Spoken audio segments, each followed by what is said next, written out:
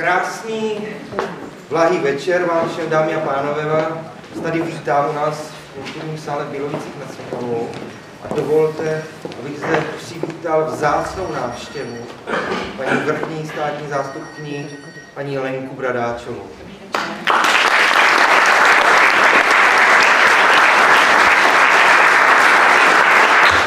Chtěl bych taky poděkovat našemu spoluobčanovi, kamarádovi, státním zástupci Honzovi Latovi, který vlastně tuhle tu besedu vlastně uh, nám tady domluvil. Takže ještě jednou děkuji a předávám slovo.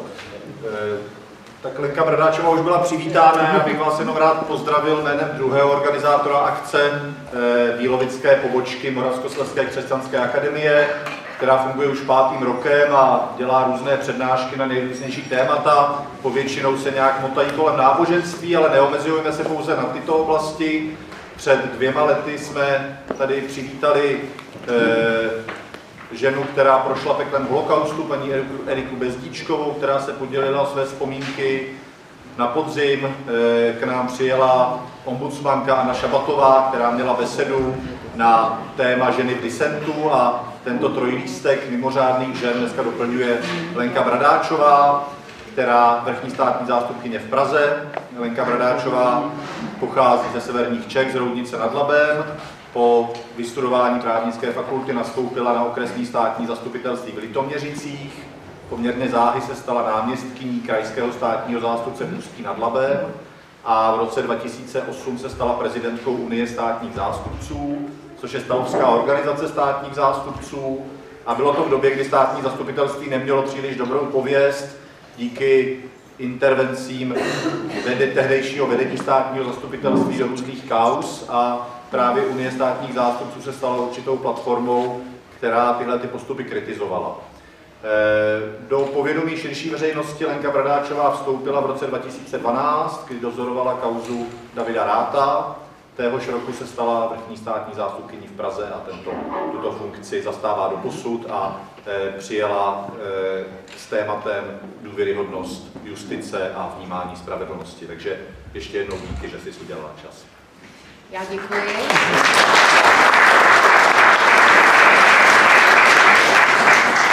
Já děkuji za pozvání.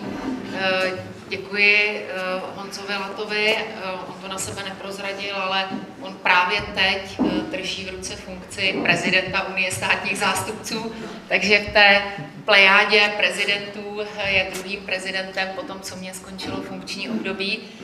A už v těch letech, které, jak říká doktor Baxan, ne, nebyly hvězdnými hodinami státního zastupitelství, byl ve výkonném výboru, jež jsem měla tu čest, dneska říkám s odstupem tu čest, vést, protože to bylo skutečně, eh, byla to společnost eh, kolegů, kteří byli vysoce lojální, inspirativní a všechno velmi, velmi vzdělaní lidé uvnitř státního zastupitelství. A to nám také dalo možná tu šanci eh, a potom ten samotný výsledek, že vůbec Unie státních zástupců uspěla v tom svém úsilí. Já děkuji za pozvání. Eh, Bílovice, Bílovice, tak eh, já když jsem sem přijela, tak říkala, no, myslela jsem, že je to menší, tak je to větší. No, takže pro nás a pro mě z druhého konce ze severních Čech jsou samozřejmě ty, tyhle ty výzky a městice kolem Brna jako pro mě zcela nepoznanými kraji. Takže i to je pro mě příjemné setkání se. Já jsem ráno jsem byla v Kroměříži na gymnáziu, kde mě gymnazisté požádali, jestli bych s nimi nepromluvila um, o budoucím zaměstnání a o justici a o tom, zda uh, je možné se stát státním zástupcem a soudcem. A musím říci, že i tam, uh, byly to teda třetí a čtvrté ročníky, to byli mladí lidé, kteří měli vysoce kvalifikované dotazy, orientovali se v mnoha, v mnoha problémech což je vždy pro mě velmi příjemné, eh, když vidím, že i generace já si dovoluji tvrdit, že my jsme takový přehled v té době neměli, že dneska eh, ta dostupnost mnoha informací eh, prostě dává možnost, dává možnost, ne, že všichni by ji využili, ale dává možnost, pokud člověk usiluje o kvalitní informace a vyhledává je, tak je získá. A ta, to téma podobné ráno i dnes se vztahuje k justici jako takové. A je to ale téma obecné, o němž bych tady chtěla mluvit a, a něco vám říci o důvěryhodnosti v justici a o justici samotné. A důvěra v justici je podle mého názoru a celou, celou svoji kariérní cestu se utvrzuji v tomto přesvědčení, je naprosto nezbytná pro to, aby justice mohla fungovat, ale především byla silná. To není kvalita zákonů. Samozřejmě kvalita zákonů je důležitým předpokladem pro to, aby justice mohla rychle rozhodovat, mohli být přijímáni do justice kvalitní lidé, a v případě, že tam tito kvalitní lidé jsou a správně rozhodují, aby jim poskytla určitou institucionální ochranu. Ale rozhodování, kvalita rozhodování, přesvědčivost rozhodnutí, prezentace rozhodnutí, srozumitelnost rozhodnutí, to jsou naprosto nezbytné faktory pro to, aby laická veřejnost porozuměla justici. A pokud je schopna jí porozumět, i přesto, že se nemusí stotožnit s výsledkem rozhodnutí, protože obvykle v civilním sporu proti stobě stojí mnohdy i rovnocení protivníci a vyhrává ten, kdo unese důkazní břemeno. V trestním řízení uh, se řeší konflikt státu, jež zastupují státní zástupci s pachatelem trestného činu. Um, je i určité procento případů, kdy prostě pachatel trestného činu odejde se sprošťujícím rozhodnutím, a nebo se prostě v řízení před soudem ukáže, že to nebyl eh, pachatel trestného činu, protože, protože se objevily jiné a jiné důkazy. A na některá rozhodnutí může mít veřejnost, na jeho výsledek eh, toho řízení samotného může mít zcela odlišné názory, co sociální skupina, co společenská skupina, ale důležité je, aby nepochybovala o tom, že takové rozhodnutí vzniklo na základě fair pravidel, a rovného přístupu ke všem. A to je, to je ta stěžejní hodnota. Eh, kdo trošku sledujete problémy justice, nebo se zajímáte o kauzy veřejné, veřejného života, tak jste v posledních týdnech mohli si přečíst, že Bradáč vám počítá rátovi knedlíky. No, já jsem eh, panu redaktoru z Lidových novin, komentátorovi eh, odpověděla krátce, eh, přestože se mě nic neptal, ale napsala jsem mu, že pokud jednu ze základních hodnot právního státu, o níž, jejíž ochranu, nebo k jejíž ochraně se zavazují státní zástupci přímo ve slibu, který skládají do rukou, prezi, do rukou ministra spravedlnosti této země při svém jmenování, a to je ochrana základních práv, kdy jedním z nich, tím stěžením je rovnost všech před zákonem, tak budu počítat i ty knedlíky. A pokud se ta rovnost dá přepočítat na knedlíky, tak pak má bez zbytku pravdu a musím s ním souhlasit. Tady nejde o to, jestli doktor rád je doktor rád. Jde o to, že v této zemi je víc jak 19 tisíc osob ve výkonu trestu odnětí svobody a mým úkolem je, aby všichni dostávali stejný počet knedlíků, všichni měli stejnou madraci, všichni mohli chodit v džínách, anebo nemohli, ale všichni. Mně je jedno, jestli bude chodit v těch džínách, jestli bude mít madraci za 15 tisíc korun, ale musí tu šanci dostat všichni. A pokud jí má dostat jenom jeden, tak princip rovnosti rozhodně naplněn není. A to jsou ty okamžiky, když se veřejnost začne dozvídat o tom, že si nejsme rovni, že někteří jsou si rovnější a že tu není instituce, přestože úkol chránit takovéto zásady, respektive tyto principy právního státu, má svěřenou do svého výjimku a do své působnosti a nechrání tyto základní zásady, no tak ztratí víru ve fungování systému. A důvěra v justici opět poklesne. A justice je skutečně tak silná, jak silná je důvěra. Když se podíváte na různé výzkumy veřejného mínění, tak jednu z největších, jedna eh, jako ta křivka, to znamená je, eh, systémy, které mají největší, jednu z největších důvěr veřejnosti, justiční systémy jsou v severských státech. A jsou to státy, kde se lidé nejméně soudí. To znamená, nemají osobní zkušenost s justicí, nestáli povětšinou nikdy ve svém životě co by účastníci soudního sporu na jedné či druhé straně neprohráli soudní spor. A jsou to povětšinou státy, které, jenom k jejich kultuře, nepatří soudit se stále a o všechno. Eh, jež řeší spory, mezilidské spory, jinou alternativní cestou, mediacemi, dohodami, probací, prostě nějakou alternativou a pokud ta alternativa nevede k výsledku, tak pak se teprve obrací na soud. Zatímco u nás obvykle první, co je, zazní věta zažaluju tě. Nedohodli jsme se, zažaluju tě. Udám tě, oznámím to na, to, na tebe. No, takže to je, patří to také ke kultuře, právní kultuře, které nepatří jenom kvalita justice, co do rozhodování a rychlosti, kvality a rychlosti.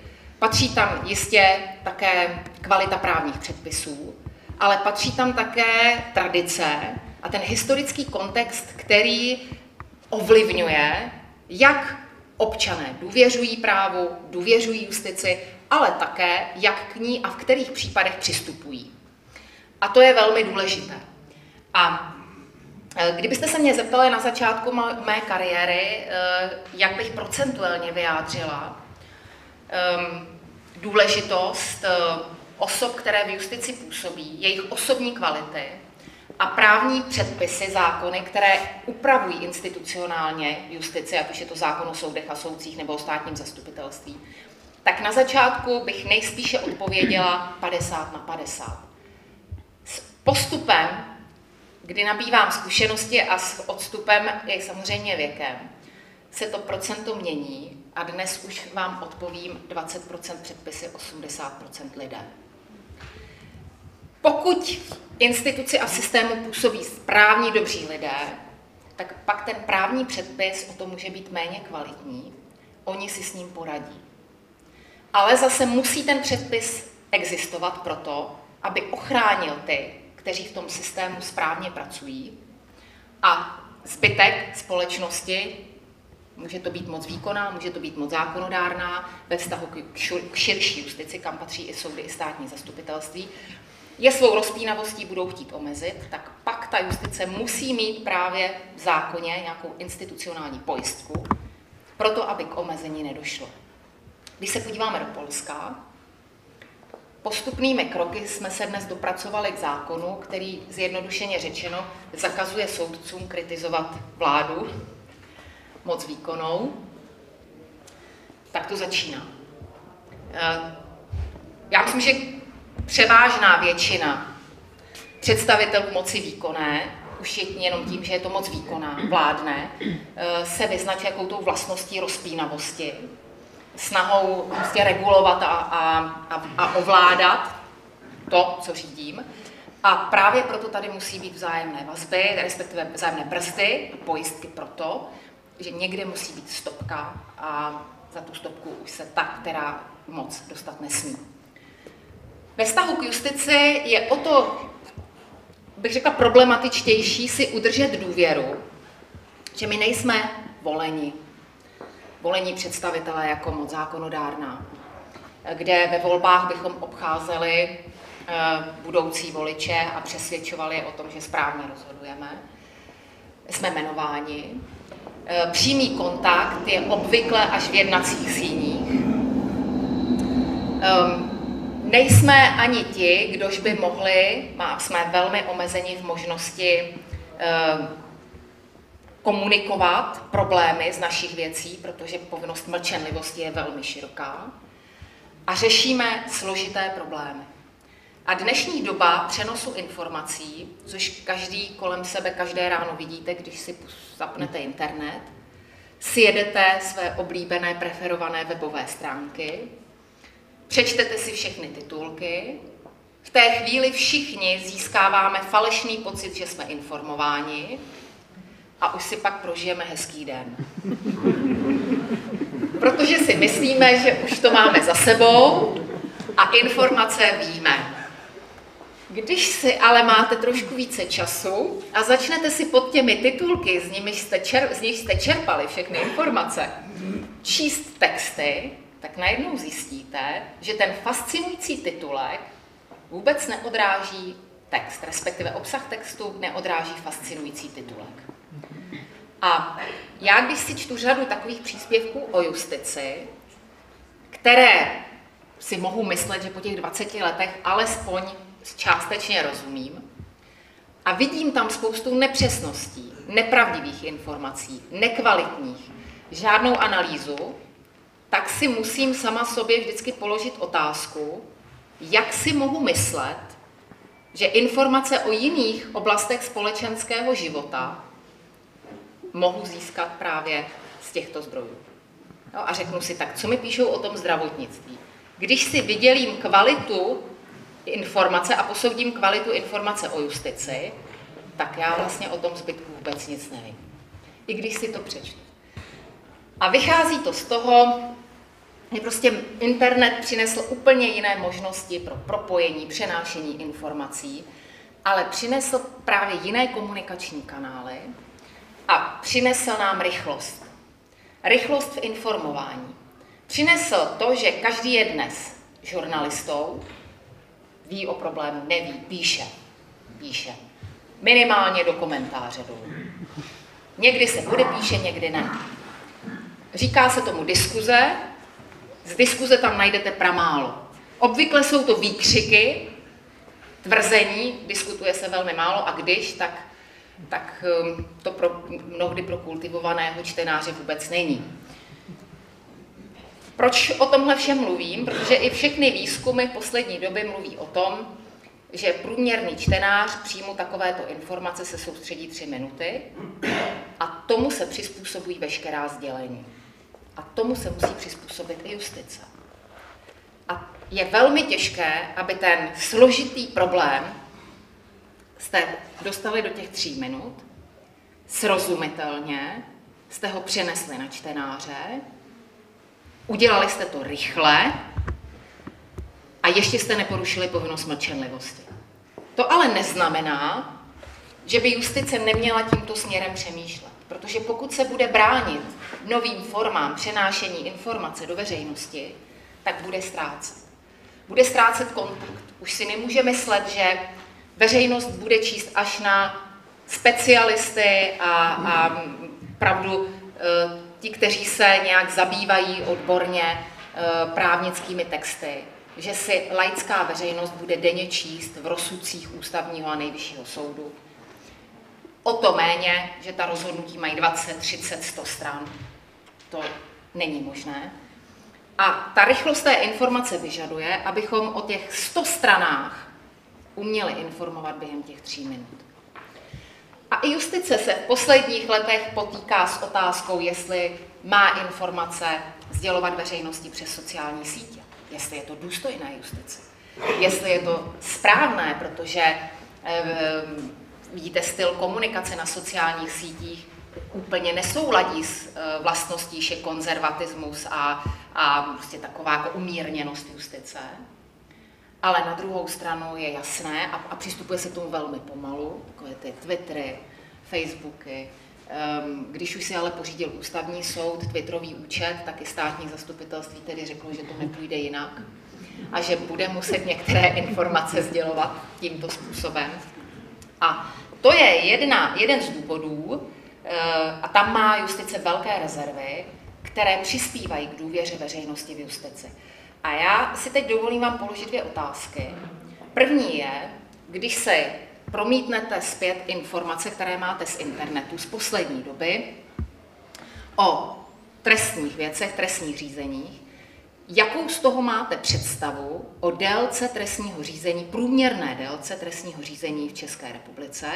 A to od okamžiku, kdy policie objasní trestný čin, to znamená najde pachatele trestného činu,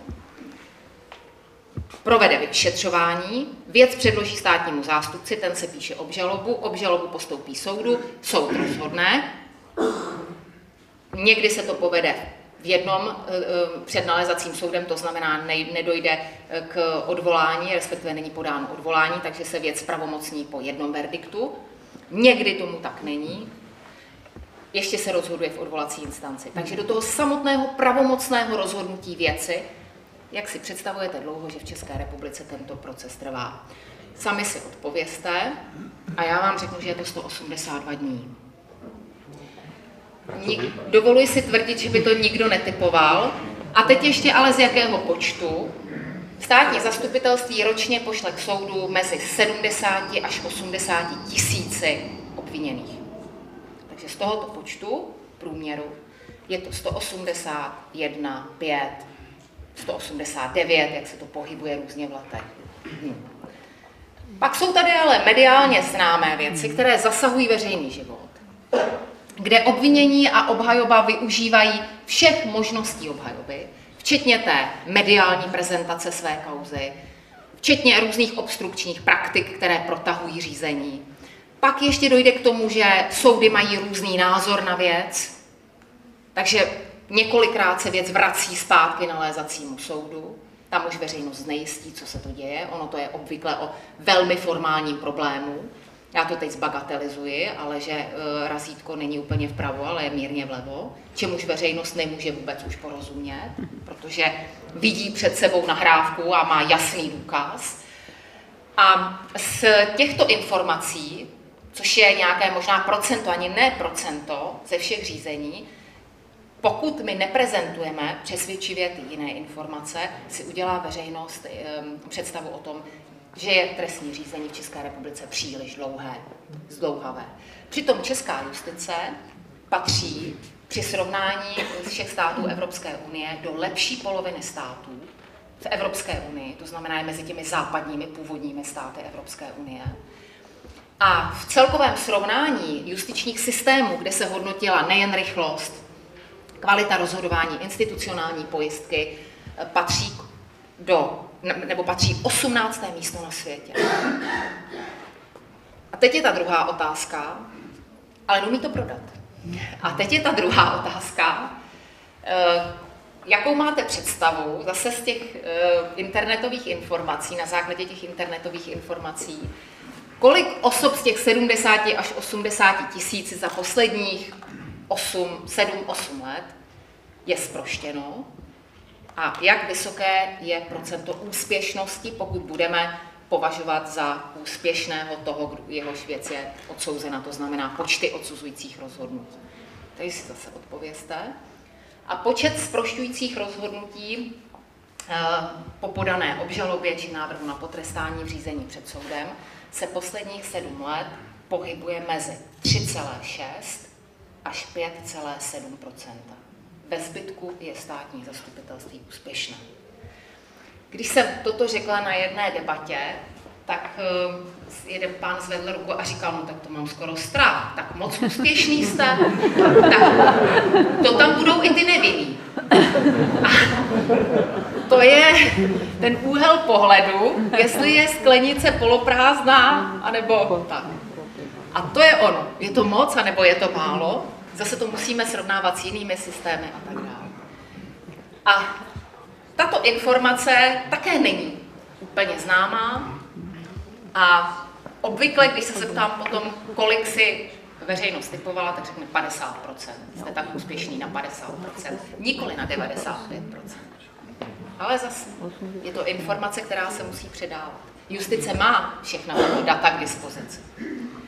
Takže i z toho je potřeba vycházet. Na druhou stranu si justice také musí přiznat, že v okamžiku, kdy eh, dojde k v rámci sledovaných věcí, mediálně veřejností sledovaných věcí, k vydání rozhodnutí, které je excesivní, které se odlišuje od všech rozhodnutí v obdobných věcech v minulosti, které není přesvědčivě komunikováno, je nesrozumitelné, takže se začnou, nebo se začnou rojit různě ehm, na veřejnosti spiklenecké teorie.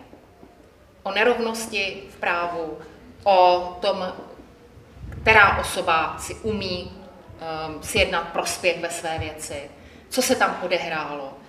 A to samozřejmě justici škodí. Až na posledním místě je obvykle důvod, že by byl státní zástupce nebo soudce nekompetentní. Jo, první, co napadne lajka, je při takovémto excesivním vadném rozhodnutí spiklenecká teorie nebo úmyslné porušení právních předpisů. Na posledním místě, když se tam studentů, je no, nekompetentní člověk na svém místě. Ale u těch excesivních rozhodnutí já ve většině případů si myslím, že je to ta poslední varianta. I když se to samozřejmě v justici těžko přiznává, ale přiznat si to musíme. V justici stejně jako v jiných profesích jsou lidé výborní, dobří, ale jsou tam také i lidé podprůměrní. Eh, a to, co je nejdůležitější, je výběr, ten prvotní výběr. Protože soudci státní zástupci mají a zcela důvodně pojistky svého působení výkonu funkce, tak aby mohli být nezávislí a mohli nestraně rozhodovat. Tak jim zákony poskytují významné pojistky. Nelze s nimi rozvázat klasicky pracovní poměr, jsou jmenováni, jsou jmenováni na dobu neurčitou. Ehm, zákon jasně vymezuje, kdy jejich funkce končí a také kdy mohou být odvoláni ze své funkce, ztrácí funkci. A to jsou přesně zákonem vymezené velmi přísné důvody. Rozhoduje o nich kárný senát, o tom, že, funkce bude, že soudce nebo státní zástupce bude potrestán, či bude zbaven výkonu funkce. A to znamená ale, že pokud se nepodaří ten výběr na samém počátku, tak se do justice dostane člověk, soudce nebo státní zástupce, který může být i nekompetentním a přesto celou svou kariéru stráví v justici. Proto je na ten samotný výběr přístupu k justici jsou kladeny vysoké nároky a měli by vlastně participovat na tom výběru ti nejzkušenější z justice, tak aby uměli nastavit pravidla pro další výběr. A musím říct, že to není vůbec lehké, my jsme se tím kdysi zabývali a snažili jsme se vlastně najít nějaký jako univerzální model kvůli psychologicko-diagnostickému vyšetření, které je také součástí přijímacího řízení eh, na posty právních a justičních čekatelů. A eh, ten psycholog nám položil jednu velmi závažnou otázku. A my jsme říkali, no tak to není vůbec jednoduchá odpověď. Říkal, no a kdo je teda tím ideálním soudcem? jaké má mít vlastnosti a kdo je tím ideálním státním zástupcem podle vás, jaké má mít vlastnosti. Protože pokud mám hodnotit, tak samozřejmě jako psycholog vyhodnotím patologii, to je jedna věc, ale pak jsou to také osobnostní předpoklady pro výkon funkce, tak je nadefinujte. Já tady řeknu něco z vnitřní kuchařky, tak jsme vzali aby typovali v soustavě státního zastupitelství napříč úřady, to znamená do co stupňů, věku, muže, ženy. O nich se domnívá většina státních zástupců, že jsou to uznávané persony co do kvality rozhodování, osobnostních předpokladů. Psychologové je vyšetřili, řekli, co mají za vlastnosti. A, pak se vystavil nějaký ideální model který samozřejmě nemusí vůbec nakonec eh, úplně odpovídat, ale eh, obecně jsme se potom na vlastnostech, na charakteristice, té obecné charakteristice shodli. A protože už to je důležité, já si myslím, že se nikdo nenarodí soudcem ani státním zástupcem. Eh, musí mít nějaké předpoklady osobnostní a pak se také jako musí připravovat na tyto profese. Um, bych, a, a musí se připravovat ale na výkon té profese nikoli jako právní čekatel, ale pak se musí vzdělávat po celou dobu výkonu profese. To není, ale jako u většiny dnešních profesí to neznamená, že si vystačíme eh, s tím, co jsme se naučili na vysoké škole a pak už se nikdy na nic nepodíváme. Takže i tento přístup, respektive výběr uchazečů, budoucích soudců, budoucích státních zástupců, je velmi významným faktorem pro to, aby justice mohla být i v budoucnu důvěryhodná. To, co jí musí být vlastní, a zase když se podíváte zpět do 90. let, kdy státní zástupci i soudci se seznamovali vůbec s kamerou v jednacích síních nebo museli podávat vyjádření ve svých věcech, a srovnáte kvalitu a přesvědčivost s dnešním vystupováním, tak bych řekla, že před těmi 20 lety bylo spíše výjimečné, když někdo obstál. Dneska si dovoluji tvrdit, že je spíše excesem, když neobstojí při té konfrontaci s veřejnými sdělovacími prostředky. Takže i v tom se justice posunula, možná ne úplně mílovými kroky, tak jak by veřejnost měla představu, ale když si srovnáte ty záběry, tak tam jistý posun musíte nalézt. A i toto mediální vystupování veřejné patří eh, k tomu, k, té, k tomu budování samotné důvěry v justici. To, že si každý státní zástupce musí uvědomit, že může také někdy být takzvaně, já říkám tomu, poznán. To znamená, že může dozorovat trestní věc, která bude mediálně sledována.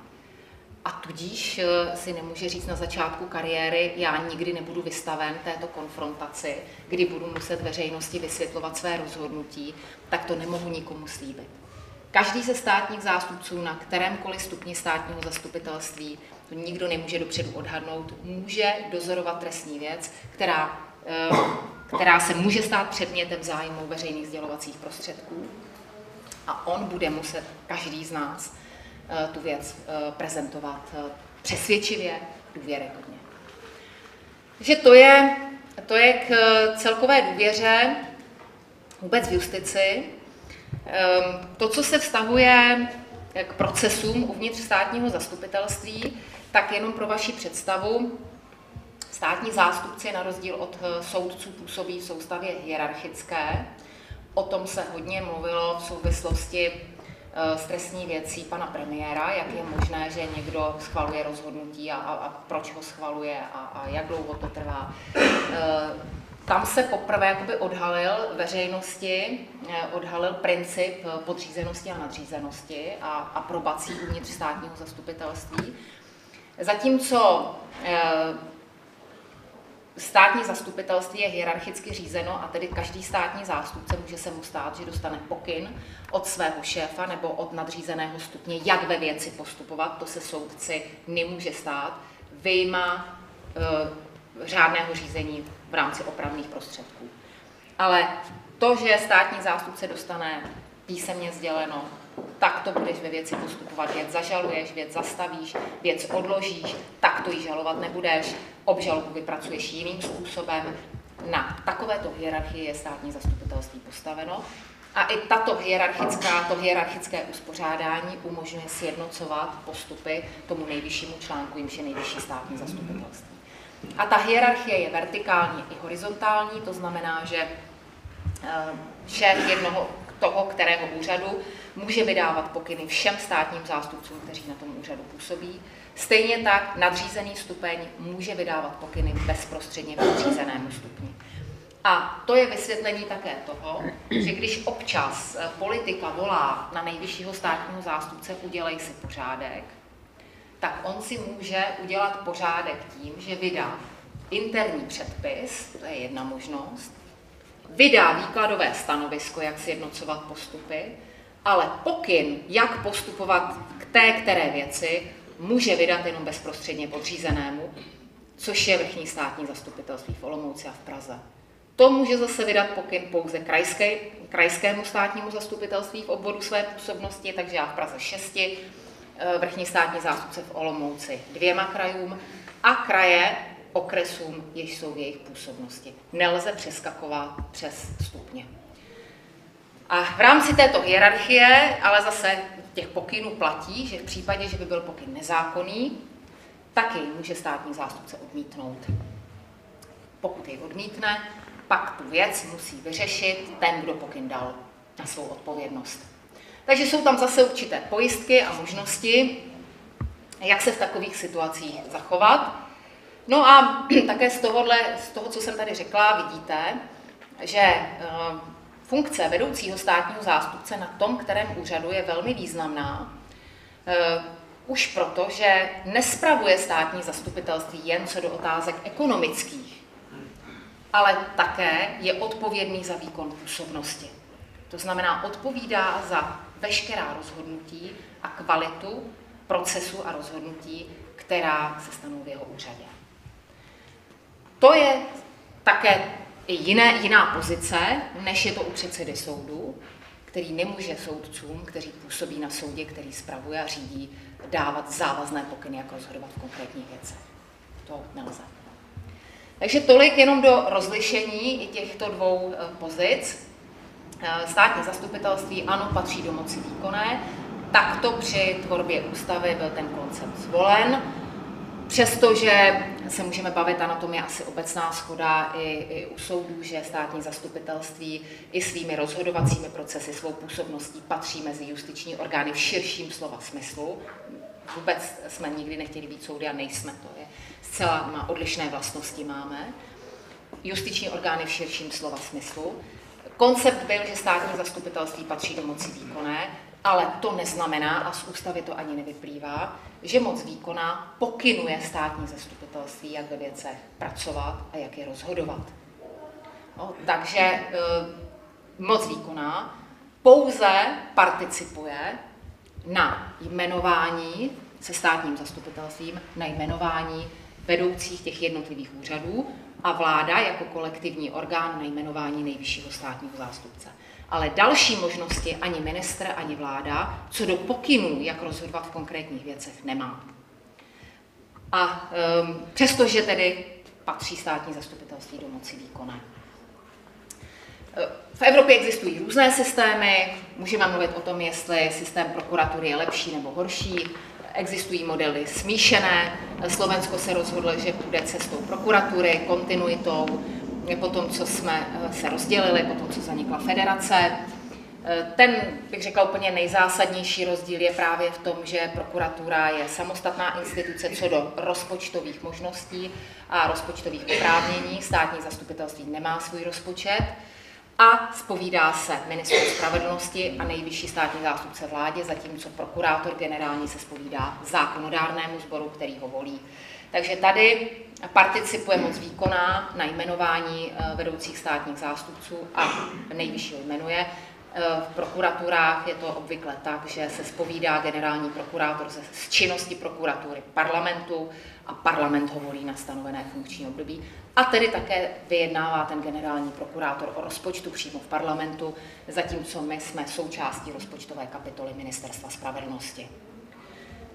A tam je také minister spravedlnosti co do zprávy rozpočtu přímým nadřízeným vedoucích státních zástupců, protože to jsou otázky zprávy rozpočtu. Co do působnosti nikoli. A to také souvisí ale s důvěrou veřejnosti v počínání státního zastupitelství, že zná pojistky pro to, že moc výkoná i za situace, že se trestní věci dotýkají představitelů moci výkonné, nemá nástroj na to, aby pokynovala jednotlivé státní zástupce, jak v těch konkrétních věcech pracovat, jak je ukončit, koho poslat před soud a koho nikoli. I to je významná pojistka pro vnímání důvěry v justiční instituce. Eh, no a eh, co říct k té důvěře, dalo by se o tom mluvit, eh, mluvit dlouhou dobu. Důležité je také, aby justice, respektive nastavení justičních institucí,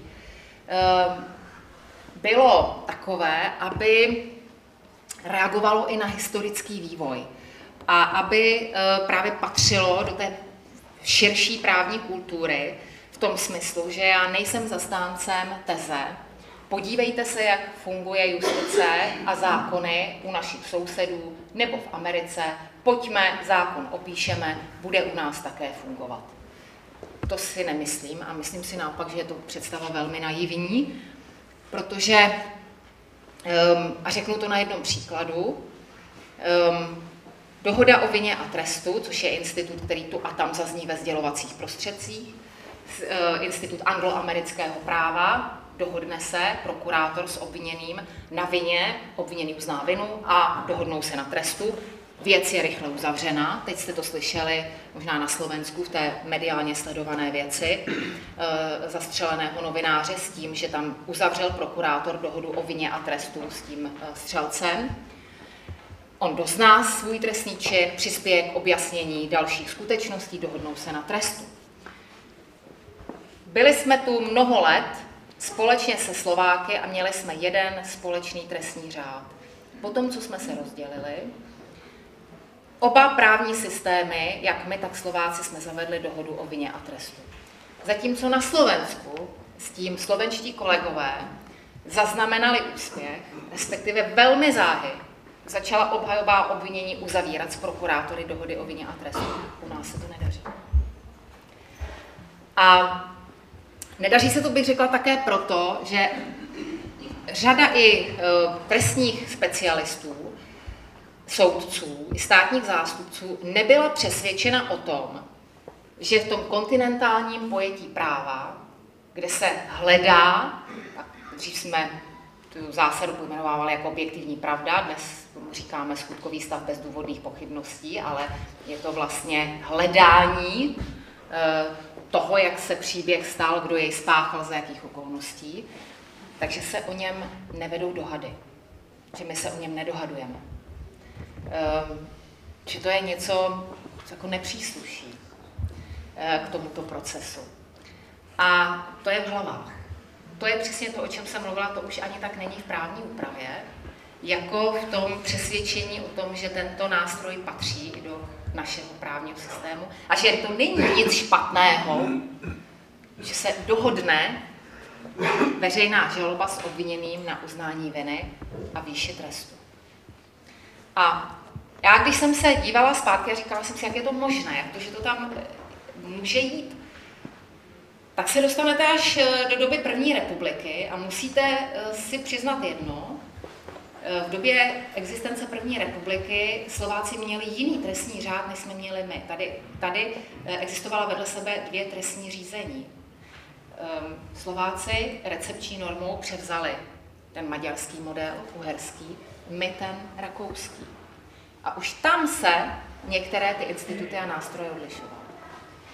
A proto si dovolu tvrdit, že i přitom, když píšeme právní normy nebo přijímáme změny, tak se stále musíme dívat na to, jak to tady fungovalo a bylo upraveno před 50-100 lety, a zda to před těmi stolety fungovalo, proto když eh, studujeme i my, státní zástupci i soudci, sbírku soudních rozhodnutí z doby první republiky, tak mnoha, mnoho rozhodnutí je stále platných a stále vysoce aktuální. A proto si nemyslím, že by tu mohlo fungovat něco, co dovezeme, aniž by nám to bylo vlastní, aniž by to byla naše tradice a vyplývalo to z nějakého našeho historického vývoje. A jeden příklad, po vzoru německé úpravy v roce 90, v těch 90. letech z účinnosti od roku 94 vzniklo státní zastupitelství. Nejvíce se blíží německému státnímu zastupitelství. Také tam autoři zákona čerpali inspiraci. Když se podíváme do Německa, tak v Německu není žádný speciální zákon, jež by upravoval fungování státního zastupitelství. Státní zastupitelství jako instituce, respektive její fungování, je upraveno v, zákonech, v zákoně o soudech. V tom zákoně se praví, jaké jsou soudy, eh, jaká je, jaká je, jaké je uspořádání soudní a najednou někde v části je napsáno, a taky je taky nějaký státní zastupitelství existuje. Přesto to funguje velmi dobře a co v tom zákoně ale je, což u nás by jistě vyvolalo minimálně rozechvění společnosti, ale i silné rozechvění státních zástupců, je, že ministr spravedlnosti může dát pokyn v konkrétní věci prokurátorovi, jak věc rozhodnout. A teď se bavíme o právní kultuře a o vnímání. Proč si myslím, že zákony není možné dovážet? A zeptáme se, a ptali jsme se německých kolegů, a kolikrát dal ten ministr spravedlnosti pokyn? Oni se na vás podívají s neuvěřením. Řeknou, nikdy. Nikdy ho nedala, nikdy ho nedá. Protože ví, že se to nedělá. A protože by skončilo. Celá ta strana by skončila. No a tak si to no, Takže dovoz těchto právních předpisů není úplně úplně to ono. Eh, a to všechno samozřejmě dohromady tvoří, tvoří právní kulturu té které země, která se promítá i do důvěry, důvěry veřejnosti v justici. A já si myslím, že úkolem každého právníka, nejenom státních zástupců a soudců, a, a říkám to i studentům eh, právnických fakult, k právníci jsou ti, kteří jsou v tomto složitém světě, nebo by měli být ti, kteří jsou v tomto složitém světě plném norem, v nich se nevyznají ani oni sami už.